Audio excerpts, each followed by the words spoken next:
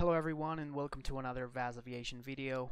Uh, today we are going to discuss about the uh, Lufthansa incident in San Francisco where they were receiving extensive delay vectors because they could not accept visual approaches at night so um, they received extensive delay vectors around San Francisco and eventually diverted to Oakland after the massive amount of comments in the video.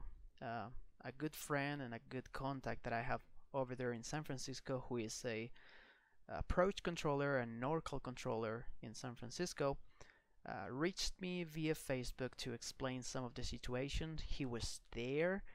Um, he's not the controller in the video, but he's there and he knows a lot about the San Francisco area, of course and he's a controller there so um, he will give his point of view and I will try to discuss all this just to um, try to soften the the moods a little bit about this controller and also about this situation which uh, I think I, I didn't think while I was editing the video that it was going to be so viral and so um, I, I don't know some people feel angry about this situation, but I think it's perfectly common and an aircraft ended up diverting, which is also normal in the uh, daily aviation. So I can break away like I thought to send you a voice message, so I'll just type. This obviously isn't Lufthansa's first time flying into SFO, San Francisco, and they aren't, and they aren't even the first aircraft that we've had to delay for an ILS. We used to, like a year ago or so, be able to use visual approach, visual separation during VMC conditions with an aircraft on an ILS approach and another aircraft side by side or slightly ahead on the parallel runway. Even though they were flying the localizer and glide slope, they were still paired up side by side or slightly staggered with other traffic and maintaining visual separation we could keep our arrival rate up and flow in more traffic without incident. After a couple foreign aircraft complained that they were getting some fluctuations on the ILS and they think it's due to parallel traffic being slightly ahead of them, the FAA reviews those situations and came down with a ruling. You know how it has been a pilot, the people that make the rules are flying a desk most of the time and out of touch with the day-to-day -day challenges of the job stating that we can no longer use visual separation when an aircraft is on an ILS approach regardless of flight conditions. So we have build we have to build in standard separation. When you consider that we have two runways, that means instead of two aircraft four miles apart like this, so this is a, a diagram of the parallel approach, we have two aircraft here, two aircraft here going in the direction of the runway. We have to put the ILS by itself and if it's a heavy, provide standard separation behind, which is usually 5 to 8 miles depending on the type. So now you have to build a hole like this. So you have the same, except that for the right, you have this aircraft with a bigger separation behind and even a bigger separation on the left runway on this bottom line because you cannot interpolate more airplanes here so you lose a few miles with the aircraft directly behind and even more with aircraft on the left. The controllers and frontline managers complain extensively about this new rule interpretation and the guidance we received from Uptown is that if we are advertising charted visual approaches or visuals on the ATIS, that is the approach air crews can expect to fly. If they request something else, we should accommodate them to the best of our ability, but they may have to take a delay. They view it as the same as if you flew in, flew in requesting an opposite direction landing on 10 when the active runway is 28 and I absolutely agree with him about this. Imagine the airport is operating 28 and for whatever reason uh, your performance weather, wind direction, or whatever, you request landing on 2 on 10 or even departing on 10 because the wind is more favorable for you for departure or whatever your performance calculations. Of course they have to accommodate you or they can accommodate you but expect delays because the airport is operating on runway 28 and you are requesting something different from the airport operations. So I think it's the same here. The airport is operating, is actually stated on the ATIS, and we'll listen to that now, is operating visual approaches. So if you request something different, they can accommodate you, but of course expect delay because you know they they don't work second by second. The streams of arrivals were already there and already built from miles and miles away from San Francisco. So of course it's not it's not easy, and uh, of course it's not only uh, Lufthansa like in the in my video. It's not only Lufthansa in the airspace, and we'll see that here in a second as well with Flight Radar. Um, if you were one of the persons that thought really thought that Lufthansa was the only aircraft in the airspace at that moment this is the video to let you know that absolutely not. Lufthansa was one of many airplanes in the only in the San Francisco airspace at that time. Norcal approach, good evening, Lufthansa 458 heavy passing 15,900 descending 11,000 information Delta so this is the first call from Lufthansa in the NORCAL frequency. Uh, information delta, it's crystal clear from them. San Francisco International Airport ATIS information delta 0256 Zulu. Wind 260 at 10. Visibility 10. Your clouds at 2600. 20,000 catered. Temperature 19er. 2.16, altimeter 3006. Remark. AO2 sea level pressure 178550002. Simultaneous charted visual flight procedures in use. And that's the important thing. Simultaneous charted visual approaches in use. So of course, yes, it's on the ATIS. We are using simultaneous visual approaches or operations here in San Francisco. Those are in use. If you're requesting anything else, and we'll continue with the ATIS now, you are out of the normal operations of the airport, so you have to expect some delay if we cannot accommodate you right away. If you really need it, sure, we'll get it for you, but you're going to wait until we have the time or room to do that. It's a request, not an emergency, and we'll talk about emergency now in a second because, because some people were saying like, hey, declare an emergency or whatever, and you just go right away to San Francisco. No, that's not how aviation works. It's not an uncommon request for the ILS while we're on visuals. We if we can get them in without a delay, we'll absolutely do that. Even if it changes our sequence slightly, we have no problem with it. But if it's going to result in us having to break a stream of arrivals 5 miles apart from Salt Lake City to San Francisco in order to slam that guy in there, we'll tell you it's going to be a delay. We aren't going to vector 40 aircraft and take them off the arrival and assign speeds and headings and introduce more risk to those passengers and pilots in order to prioritize a special request. Of course, I commented this same thing in some comments of the video. You cannot prioritize Lufthansa by sacrificing other airplanes. It's not like that. It's not that easy, trust me. And I am not an air traffic controller, I'm a commercial pilot. But I understand that it's not that easy, especially in busy airports, very major airports, as San Francisco is. Of course, and as I said, the sequences are built from miles away so it's not easy. If the if the sequence is already tied from miles away it's not easy to make that gap and I understand controllers there. So let's go back to uh, flight radar and see the actual image of the airspace at that time.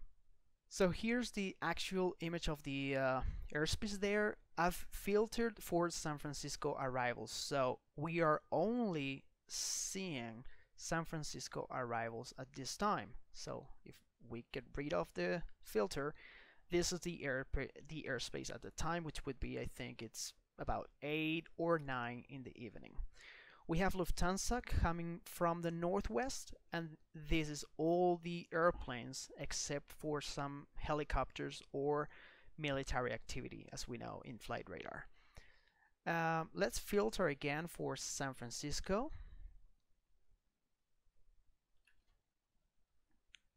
And let's go only for the inbounds. Okay, so yeah, this is all the inbounds that we have at this moment. So the first call and the norcal approach would be approximately about here.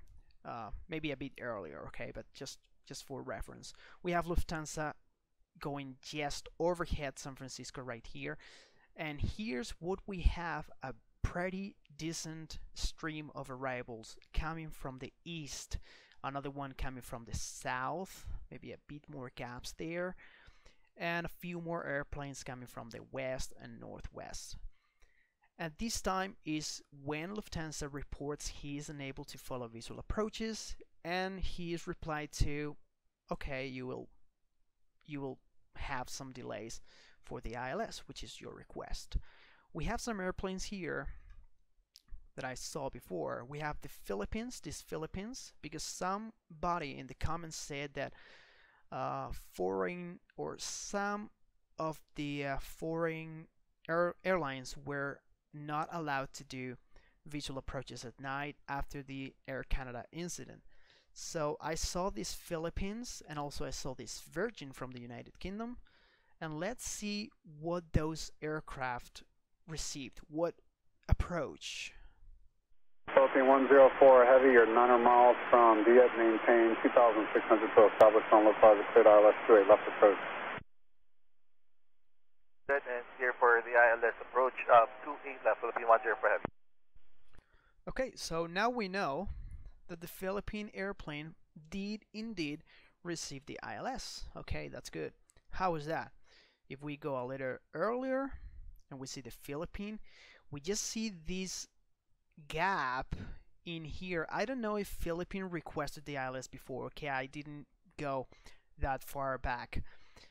But we did see this gap in between American 2933 and Frontier 1523. This gap in here is the perfect gap for Philippines. And if we continue ahead, that's the gap where Philippines fill in just inside of uh, Frontier 1523.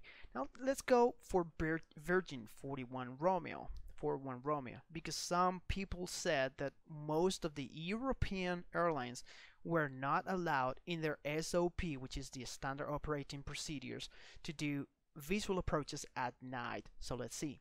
Virgin 41 Romeo, heavy traffic at 11 o'clock, 6 miles northbound, 4000 left, 8628 left.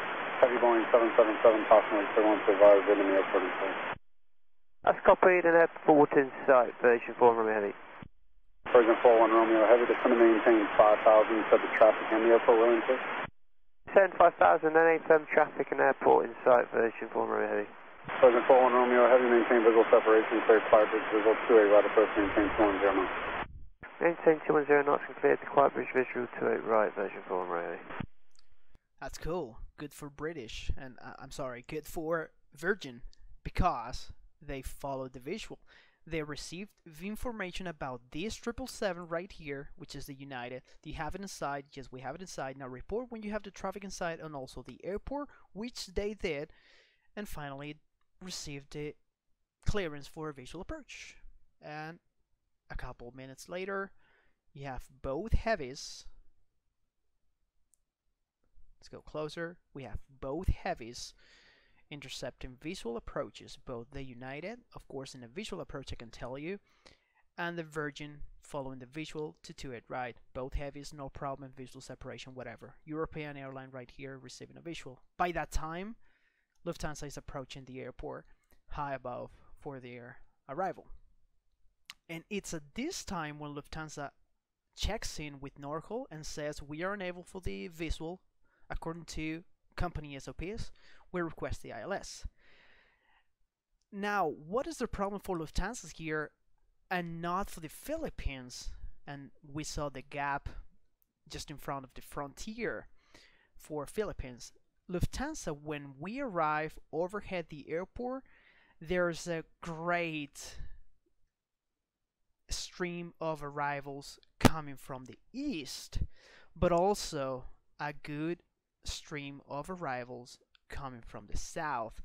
So those gaps in between the arrivals from the north, they're going to be tighter when they get closer to the localizer because now, unlike when the Philippines uh, came in, now we have also arrivals coming from the south. So it's going to be more difficult to build that gap or to find that gap to have Lufthansa, I'm sorry, this one, to have Lufthansa uh, come in. So um, yeah, I think that's the difference. We have a very big stream of arrivals there. Just when Lufthansa is receiving vectors, you still have the stream of arrivals here, and also we have arrivals from the south. So yeah, it was a very coincidence situation for the Lufthansa because the ILS coordinating the ILS for them was not an easy task for the controller. So I'm not defending anyone. I'm just showing you uh, the facts.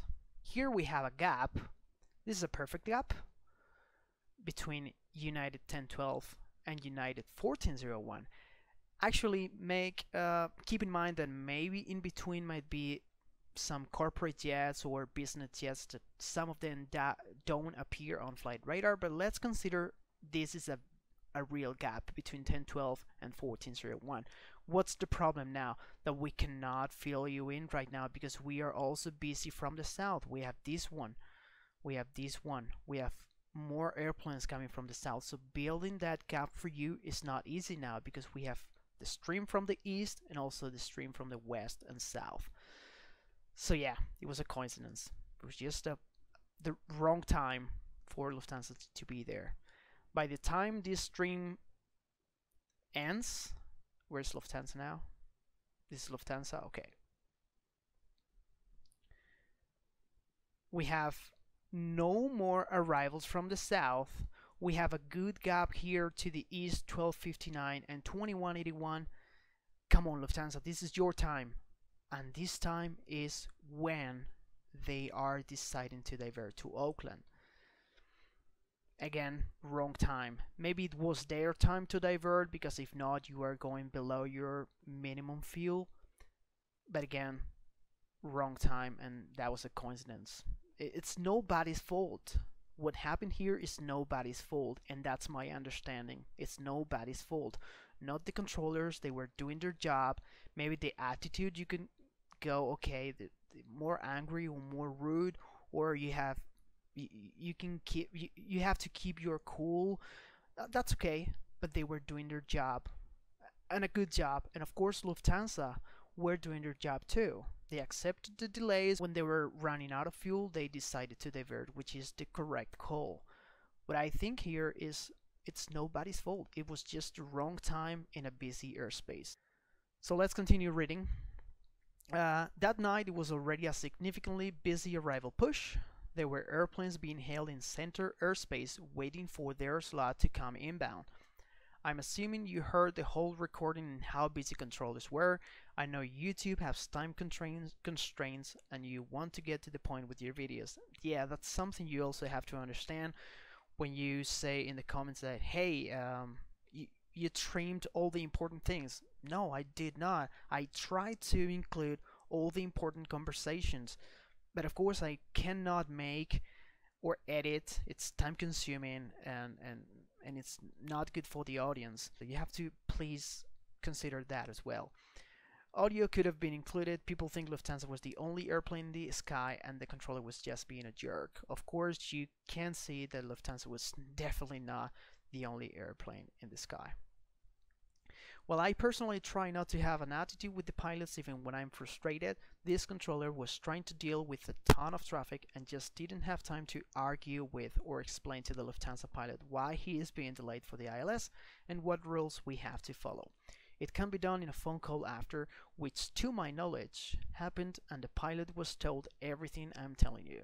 It was reviewed by management and they told the controller that he did a fine job. He was busy and needed to move on, which is why he told the pilot that this conversation is over. And it's not a rude comment. I have more, many more airplanes to control and many more airplanes to handle. So, of course, I cannot, and don't take this as a rude comment, I cannot continue talking to you about this. I have more airplanes to vector and to sequence for arrival.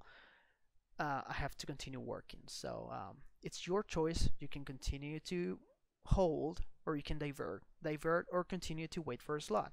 It's the pilot's call, but he didn't have time to continue the back and forth with them. I totally understand that as well. I don't think the ILS was down, and we have already seen that it was not. Otherwise, I would expect the pilots to know that and not request it. They like to do maintenance on them while we're using visuals, but usually they just take one to a left or to it right, and the other one will still work. What we've learned to do since these all started, and what I like to do when someone requests the ILS is tell them I can vector to the localizer or glide slope and you can track that inbound, but can you still take a visual approach once you get the airport inside? If so, then I'm able to use visual separation and everything's fine. They're just backing up a visual approach with the localizer, which we usually do. I don't fly in the United States. I'm a pilot in the European, um, in Europe. But uh, if I don't know, every time we, we load up or we expect a visual approach, we end up just loading up the ILS or the localizer or whatever other instrument approach just for reference. It's okay, it's situational awareness too with the localizer which is fine for 99.99% of these guys requesting the ILS. In this case the controller asked if he could still do a visual separation at night and the pilot said no to that specifically so he had to wait. So some people were saying in the comments I understand these are not real pilots or um, I don't know because a real pilot wouldn't wouldn't ever say this but they say, okay, Lufthansa just declare an emergency, a fuel emergency, it just goes straight back to San Francisco, which is your intended airport.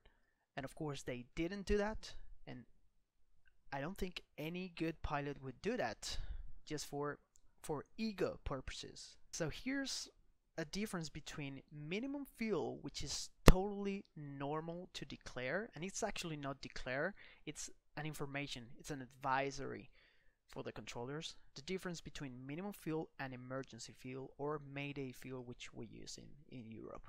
So minimum fuel according to the FAA if an aircraft declares a state of minimum fuel, inform any facility to whom control jurisdic jurisdiction I'm sorry, is transferred of the minimum fuel problem be alert for any occurrence which might delay the aircraft en route. Use of the term minimum fuel indicates recognition by a pilot that the fuel supply has reached a state where, upon reaching destination, the pilot cannot accept any undue delays.